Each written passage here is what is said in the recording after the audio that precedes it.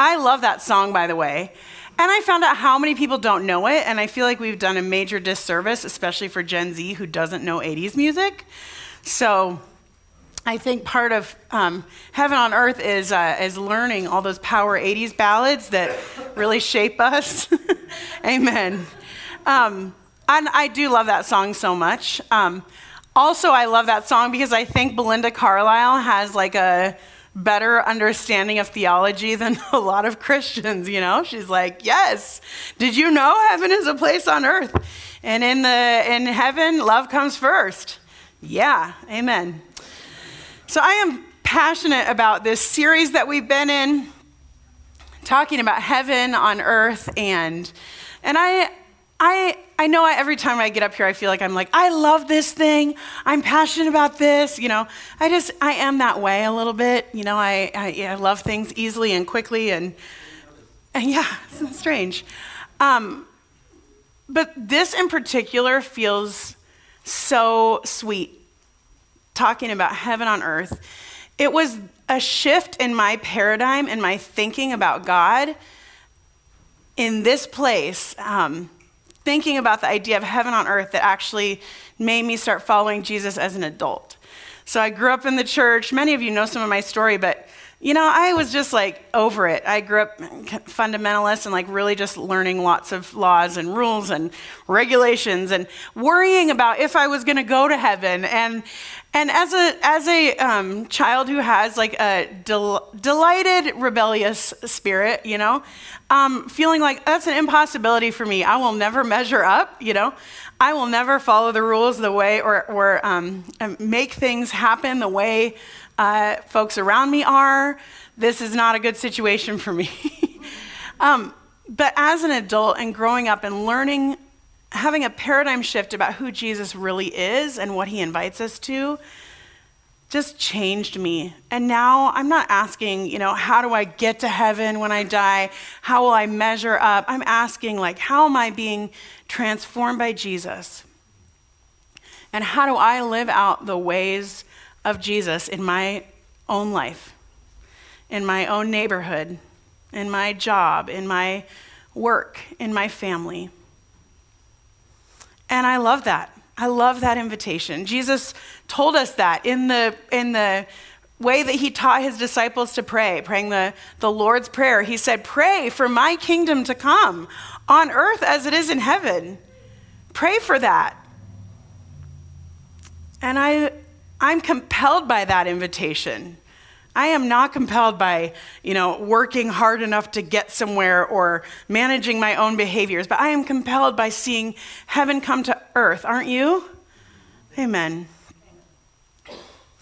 And that's what Jesus invites us to. And so that's where I want to talk from this morning. And I'm so excited to talk about this. Even this week, as I was preparing and wrestling with some of these things, I'm like, oh, I'm speaking to myself. There's ways that I desperately need to be challenged in this and need to hear this again and again. What does it look like for me to live out the values of the kingdom? What does it look like for me to follow Jesus, living out heaven on earth? And not just talking about it, but living it out. Because the kingdom of God was never just meant to be theologized or intellected or preached about or studied about or read about. We love to do that, don't we? But it's a whole way of being, it's a whole way of, of living your life the values of heaven on earth. And I think about even how the earliest disciples of Jesus, they called themselves followers of the way. They were followers of Jesus, but they were followers of the way. They were following the way Jesus lived. They loved Jesus, they were compelled by him. They believed that he was their teacher, and they did what he did.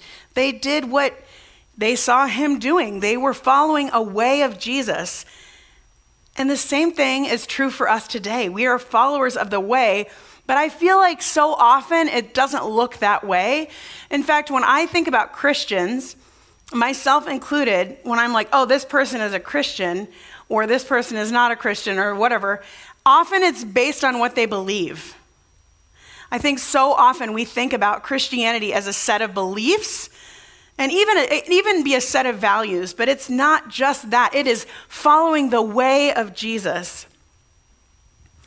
It's not about what you do believe or don't believe or whatever. Those things inform how you live, but it is about the way, following the way of Jesus. There's a, an author I really love um, named Mark Scandrette, and he, uh, all of his books are, are um, you read a little bit and then you practice something. You, you like apply it. So he'll give you the practice of like rest, or he'll give you the practice of like talking to a stranger just to get to know somebody in your neighborhood, you know? And then, um, and it's all about kind of living this out. And he says, Jesus didn't communicate information or ideas, but he declared, I am the way. And he invited his disciples into a new way of life. As a rabbi, he taught his disciples by inviting them to make dramatic changes in their lives to risk new ways of being and doing. There is a, a, way that we embody our faith. It's not just beliefs, but it's a posture. How do, we, how do we lean into life? How do we engage with the things that Jesus taught us? So, how do we do that? How do we follow this new way of being and doing? Or what, are the, what, what is the way of Jesus? So, what comes to your mind when you think of the way of Jesus? Maybe what's the first kind of value or characteristic that you think of when you think of the way of Jesus? Some kindness, love. Yes, love. You know I was going to say love, right? Love is is the kind of overarching value in the kingdom of God. The way of Jesus is love. And every value, every uh, belief that we have, every way that we live in the kingdom of God could be summed up in this love. And there's so many passages, even I'm going to just rattle off so many passages this morning to you. But I want us to be reminded, and these things are going to feel really simple. You're like, duh, yes, I already know that Jesus is about love. But we need to be reminded because we don't live it out often, do we? Or maybe I'm speaking for myself. But there were, I love the passage where um, there's a crowd and there's Pharisees and disciples all mixed together and they're talking to Jesus and they say, one of them says, Teacher, what is the greatest commandment in the law? And he replied, Love the Lord your God with all your heart and your soul and your mind. The, that's the first and greatest commandment. And the second is like it love your neighbor as yourself. All the law and prophets hang on these two commandments. Everything hangs on love. I mean, and, and these guys would have been hearing it as like literally everything they understood as the law, everything they understood in the Old Testament. All of that hangs on this idea of love.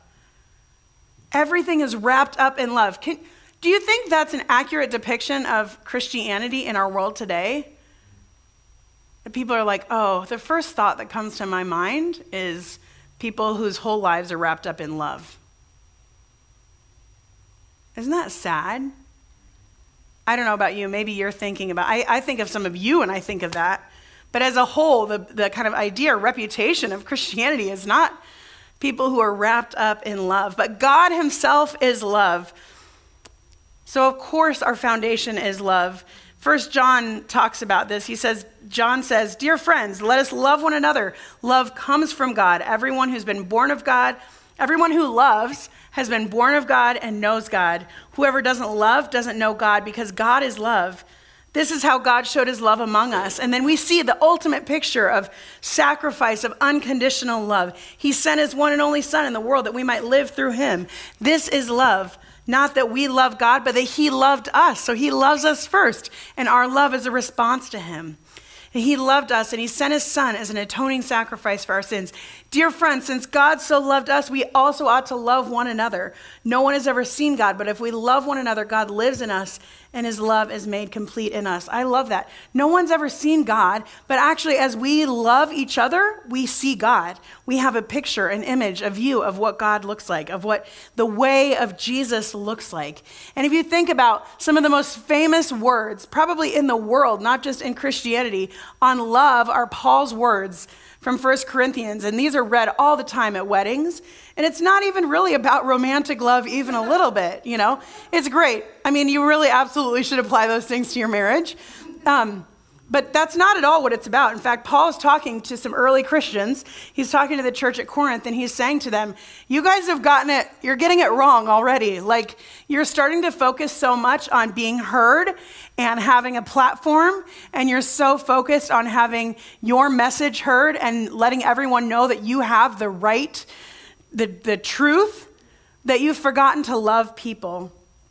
And so he says to them, if I speak in tongues of men or angels, but I don't have love, I'm only a resounding gong or a clanging cymbal.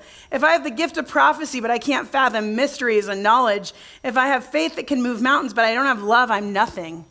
Like if I have all this knowledge and all the right things and the right ideas, the right theology, but I'm not loving people, then it doesn't matter. And then even on the other end, we've talked a lot about this, the like right theology and then the also the theology of just doing a lot. But even then, if I give all I possess to the poor and I give over my body to hardship that I may boast, but don't have love, I gain nothing. If you're giving in order to look good, if you're giving in order to get something, it's not love. Love is patient. Love is kind. It doesn't envy. It doesn't boast. It's not proud. It doesn't dishonor others. It's not self seeking. It's not easily Anger, it keeps no record of wrongs. Love doesn't delight in evil, but rejoices with the truth. It protects, it trusts, it hopes, it perseveres. And at the end of that whole um, talk on love to this church, he says, There are three things that remain faith, hope, and love. Which one do you think is the greatest? Love. I think, though, if I was going to answer in my theological brain, I'd be like, faith. Faith. No, he says the greatest of these is love. And when we think about love, it's not, I know you've, again, this is also simple, but I want to remind you this morning love is not just this, you know, mushy feeling, although I love that feeling. Um, but it is a verb, it's an action, right? It's a, it, there's a, a way that love moves us into action. And that would be called compassion. When Keegan was talking about um, leading students in the justice program, we studied uh, the, Good Samar- the parable of the Good Samaritan together. And students were really struck by the, the part where it talks about compassion. And so we looked that up. And in, in Greek, that word compassion, and then it's all through the New Testament. When there's so many moments where Jesus has compassion on someone, or it says he was moved with compassion, so he did something different than what he was originally going to do, or he cared for people, and he he continually did things based on this compassion that he experienced. Do you know what it means in the Greek? It means many boweled one. It's not funny? Like your bowels. And it's this idea that compassion comes from your gut. It's like a it's a gut feeling like I am it, it disturbs me. You know, I can feel that. When was the last time that you felt gut level like compassion for somebody? Yeah, bless you, Megan. That's probably not everybody's experience that gut feeling of compassion that leads you to do something. There's a dear woman in our church, and I'm going to tell her story, but I won't use her name because she would, she's a very humble person. She wouldn't want to be known for this. But this friend of mine was explaining a story to me a while back about how she works, um, she works at a clinic and she works with people who have kind of chronic pain. And um, so she deals with people who are always experiencing you know, tough times, and they're desperate. And so she works at the front desk, so she sees a lot of people and the stuff they're going through. She deals with some of the billing stuff, and she's on the phone one day with a, a husband, and, and he's an elderly man, and he's crying because he's telling her, We can't come in for our next appointment because we can't afford it. We already have all this debt from this pain clinic and we can't afford our next treatment, but my wife is so miserable. And this is so it's so imperative that she has this treatment. And so he's crying. He's like is there a way that we can work around this? You know? And she was just like no this is there at some point there is a way you have to begin payments and you haven't paid. And um, and so they have this whole conversation. And she says well, let me think about it you know? And she hangs up with him. And she talked about the feeling that she felt and i'm like oh it was that compa- it was that gut level compassion that love for this man that she doesn't even know but she can hear his suffering she can hear his struggle. And so then she's explaining that to me and she's like that that felt like god. Do you think that was god in that moment? I'm like totally you know? That's jesus in you. That's you following the way of jesus. And so she was going to end the story there. Um, and i said so what happened? She's like well we figured out a way and i was able to call him back and um, let him know and she's like he just wept with the good news that he was his wife he was able to bring his wife in for treatment and i said so what like do you have a program for that or something and she was like, Well, we figured something out. I was like, What happened? I pushed her a little more. You know what she did? She wrote a check herself. Can you imagine that? I said, Excuse me? Well, that is a that is a next level compassion. You deal with folks like this all the time. She was like, something hit me, and it doesn't happen every time. I can always be empathetic, but there was something in my gut that was deep. It was that level of love and compassion for these folks that I knew I had to do something. She's like, they have no idea. I told them that it was, you know, there was a, a system, an, an error in the system, and I was able to figure it out, and they were able to get their treatment. The way of Jesus is love that moves us to action. The way of Jesus is hospitality. I love this one too. The, the whole way of Jesus is hospitable. This is not like Jesus invited people over to his home and his home was cute and, you know, decorated in modern times, like whatever. Jesus didn't even have a home to invite people to. Instead, he went to other people's homes. It's just Jesus embodied hospitality in who he was. It's not, it wasn't a, a, way of like setting out a nice meal for someone. It was who he was as a person, who he is as God. He is a hospitable God. The way of Jesus invites us to be a hospitable people. I thought immediately of the story of, of Jesus eating with Levi and other tax collectors. There's so many of these stories in the Gospels of Jesus going and having dinner with the wrong people. It says, Well, Jesus was having dinner at Levi's house. Many tax collectors and sinners were eating with him and his disciples. There were many who followed him. And then when the teachers of the law, who were Pharisees, saw him eating with sinners and tax collectors, they asked, Why does he eat with tax collectors and sinners? And on hearing this, Jesus said to them, It's not the healthy who need a doctor, but the sick. I've not come to call the righteous, but sinners. Jesus is hospitable, and he loves all folks and he eats with them. I love this story over and over. We did a whole series on dinners with Jesus because Jesus eats with people. And what does that mean? It doesn't mean what it means in our context today. We have dinner with strangers sometimes, you know? We have dinner with a new friend. In the time that Jesus was living, food meant you were family with these people. Food meant that you associated yourself deeply with them. To share a meal was a very intimate act. And he was intimately connecting with these people who are tax collectors, who are hated in society at that time. That's Jesus.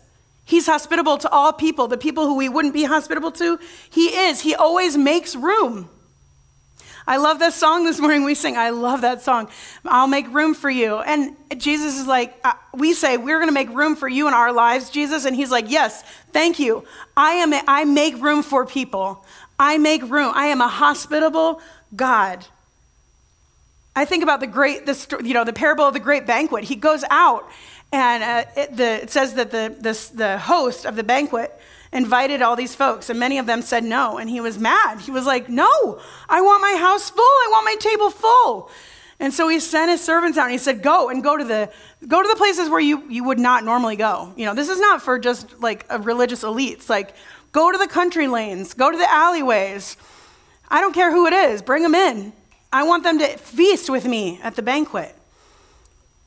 There is a, a hospitality in the way of Jesus. And it is so countercultural, isn't it?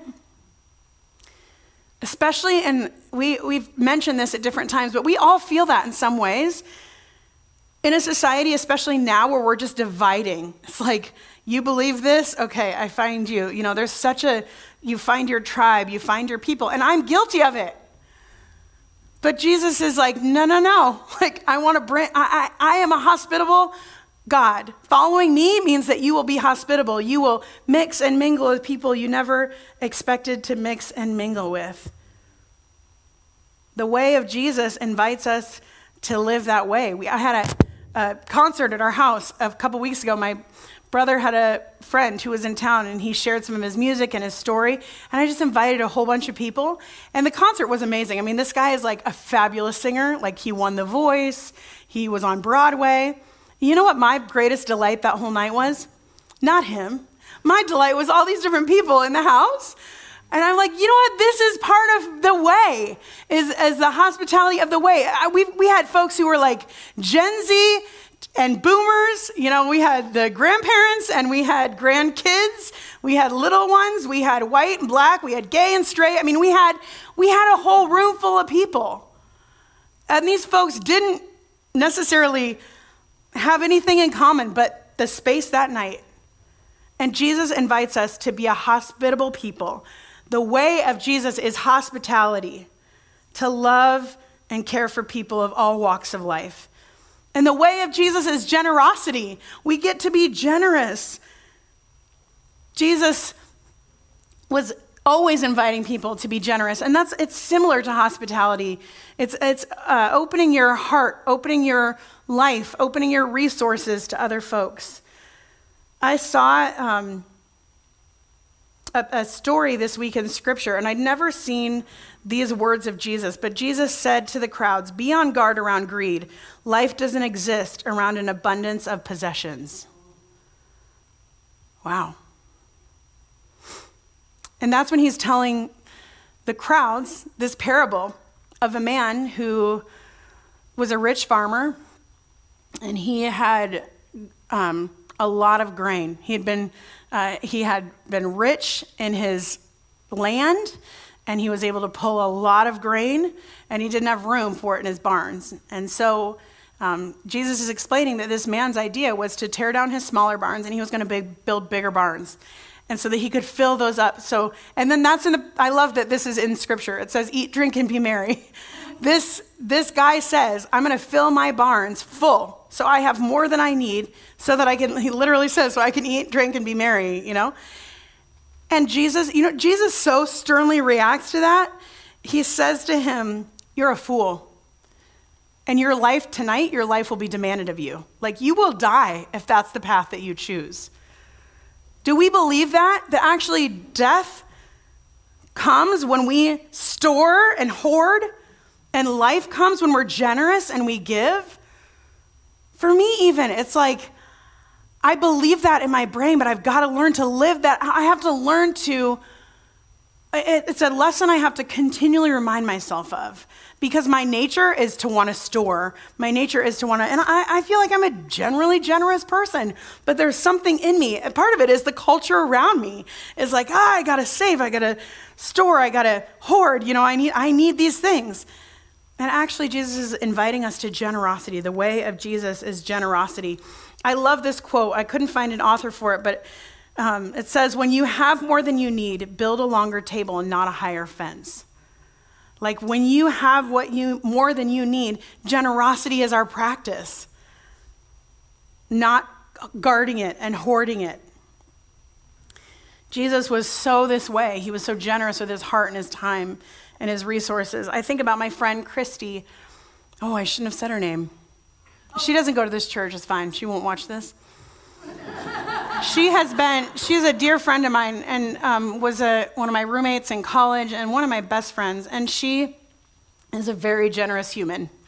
And when I started working, like Keegan talked about with InterVarsity, we raise our budgets.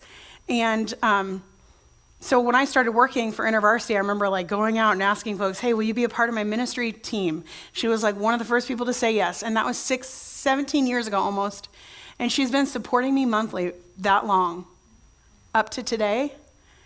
And I think about the amount of money that she's given, invested into college students' lives, into lives like Keegan and Blessing, and into my life.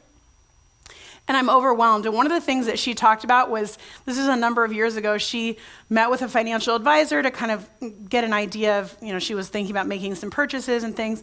And the financial advisor looked through her documents and was like, okay, we first need to address your giving. Like, and he was just very honest. He was like, this is irresponsible. Like, Uh, this is not actually going to get you to your goals. Like, I think if you pulled back on some of your giving, like, we could get you to where you want to be faster. And she told me about that, and she was so offended. She was like, No. And she told him, No. That my I part of who I am. Like Jesus invites me to be a generous person. I always will be. And you can't stop me. And it won't stop me from all the other things that God's inviting me to. Like I get blessed by being able to be generous. Isn't that amazing? And isn't that true in our world? Like us being generous is usually irresponsible in some ways, or it could be seen that way because it's responsible to save and to to hold back and to you know think very logically and reasonably about your finances. I know there are a number of you in this church who don't do that who are willing to, to hear from jesus and to say this doesn't make sense to me but the lord has asked me to give this. I've experienced that even matthew over the last nine months matthew hasn't had a job because he's been working all his practicum hours in order to become a mental health counselor and so we've been living on one income. And God has spoken to people. I'm like, people have generously dropped off meals, generously written checks. And I, like, thank you. There's a way, too, that these things get lived out together in community because we continue to give too. You know, we decided we're not going to stop giving to the places that we give to, even in this, even in this season of having one income. We just feel a conviction about that. Now, that's Matthew. I would have been happy to stop giving to those things like, let's be safe, you know? Thankfully, we have one Christian in our family. um, there's so much more to say, and I, yeah. The way of Jesus is humility. Jesus came, his whole life has been about humility. He came as a baby. He didn't have to do that. He came to earth as a baby,